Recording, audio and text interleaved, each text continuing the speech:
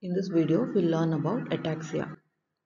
So, objectives of this video will be what is ataxia, what are the different types of ataxia, and how to differentiate sensory and motor ataxia. So, when I tell ataxia, it is nothing but loss of coordination is called as ataxia.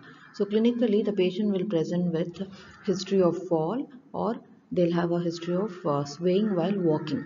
Okay, so the clinical tests done to assess the coordination are for upper limb and lower limb we have different set of tests. In upper limb most commonly we do is finger nose test, finger finger nose test, a slight modification of finger nose test that is adiadochokinesia. It is nothing but alternate supination and pronation. We to ask the person to patient to do that and also we'll ask the patient to draw a circle in the air with the help of an index finger. So these are the tests to assess coordination in the upper limb. Test to assess the coordination in the lower limb are knee heel test, Romberg sign, tandem walking and drawing a circle in the air with the help of great toe. This is done when the patient is in a supine position. So there are two main types of ataxia. We have sensory ataxia and motor ataxia. Uh, problem in the cerebellum most commonly leads to motor ataxia okay? And problem if it is in the proprioception. Proprioception is nothing but joint position sense. It's a sensory function right? And it is being carried by the dorsal column pathway. So any problem in the proprioception we call it as sensory ataxia. Now coming on to finger nose test. Uh, this is a test done with the help of your hand. So it is uh, a upper it's a test for coordination test for upper limb. Here you ask the person to sit on a couch uh, with the open eyes first this test is done okay?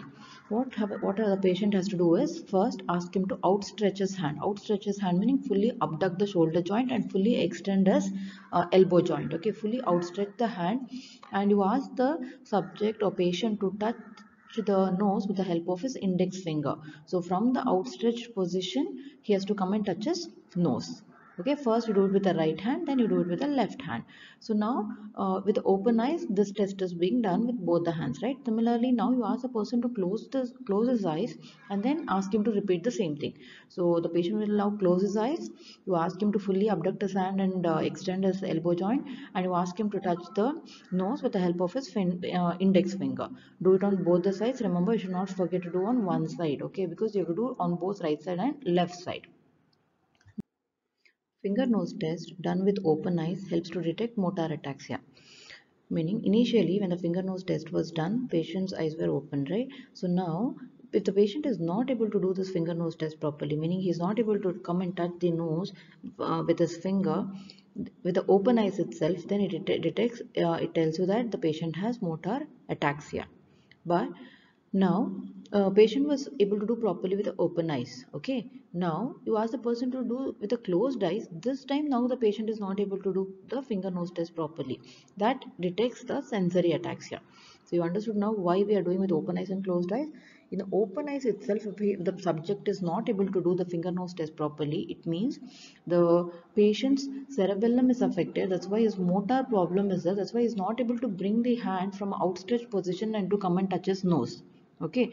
But if he's able to do properly with the open eyes he's able to do come and touch the nose with the, both the hands it means cerebellum is fine intact okay? Now but once the person is uh, closes his eyes and you ask the person to do this uh, finger nose test now he is not able to do with the closed eyes it means the problem is in the sensory uh, pathway. It means his dorsal column is affected or his proprioception is affected. That is why with a closed eyes he is not able to do. But with open eyes he'll do it properly. That is why remember finger nose test has to be done with both open eyes and closed eyes mainly to differentiate between the sensory and motor ataxia we have another test which is called Romberg sign or Romberg's test. This is mainly used to test uh, test for sensory ataxia or detect sensory ataxia. Again, here remember in sensory ataxia, the problem is in the loss of proprioception or joint position sense. Proprioception is nothing but joint position sense. So this sensation is lost in sensory ataxia. So what is happening is in how to do this Romberg sign or test it. Okay, the patient is asked to stand with both his feet close together uh, with the open eyes. First the person just has has to stand straight okay with both his uh, legs and feet close together. And then now just observe if the patient is swaying to any one side okay. Now after this patient is asked to close his eyes. And remember while doing this test examiner had to ensure that uh, the patient does not fall to any one side and get some injuries additional injuries throughout this test okay. Now when the person has closed his eyes and is standing straight now with a closed eyes uh, if the patient sways to one side after closing the eyes then you call Romberg's sign as positive. Okay. But with a patient with a cerebellar ataxia or if there's any labyrinthine problem no what happens is even without closing the eyes patient will start uh, uh, getting unsteady or he'll try, uh, start to fall to one side. That is motor ataxia in sensory ataxia what is happening? With the open eyes the subject is able to stand properly. But once the patient closes his eyes he'll start swaying to one side. And that is called as Romberg's sign positive. Romberg's sign positive meaning patient is swaying to one side. Now, here remember, uh, this again helps to differentiate between a sensory and motor ataxia. Uh, now, if the patient has problem in the right cerebellum, so the uh, the right cerebellum, the left cerebellum. Okay, if the patient has problem in the right cerebellum, remember the the patient will sway to the right side okay? If the patient has problem in the left cerebellum patient will sway to the left side. So always remember cerebellum has ipsilateral control meaning it controls the same half of the body.